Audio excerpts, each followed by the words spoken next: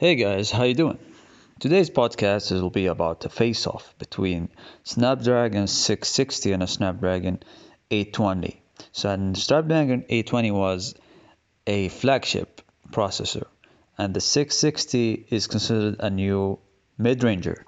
So let's take a look. Uh, this is the uh, GSM Arena, and I'll be comparing the Snapdragon um, 660, as you can see here um, this is the the Oppo R11 Plus, and uh, what I'm going to show you that what we have here is the uh, as you can see the octa-core 2.2 and uh, four cores uh, 1.8 uh, gigahertz. So we have four 2.2 gigahertz and four 1.8 gigahertz and an Adreno 512 for the GPU.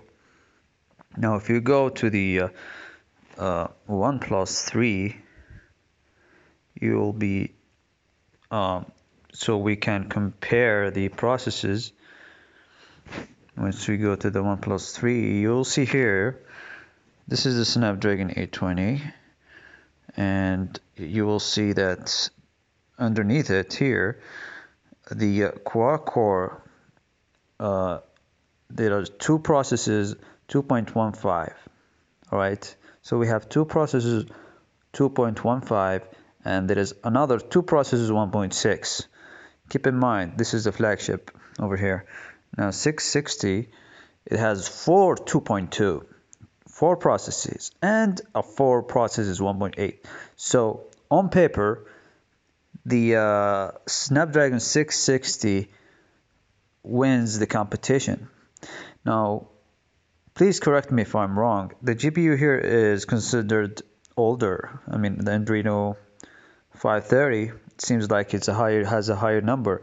Does that mean the GPU is better in the Snapdragon 820 compared to the Snapdragon 660, which is 512? Please let me know in the comment section if you know about this information. And uh, yeah, I'm just comparing the processes. And uh, you know this these new uh, flagship or mid-ranger phones with the 660 they are they are at, at, the flagship level to be honest with you. And this is really great. Now if you look at the uh, OnePlus 3 how old is this phone? It's in 2016 so it's like two years ago two years ago phone so. And uh, the uh, the 660 is it's released on 2017 in November.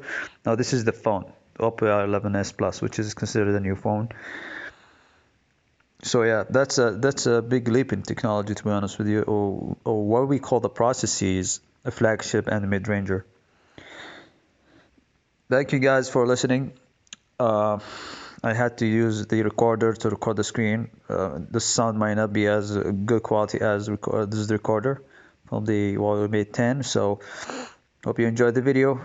Please like and subscribe. See you guys in other videos.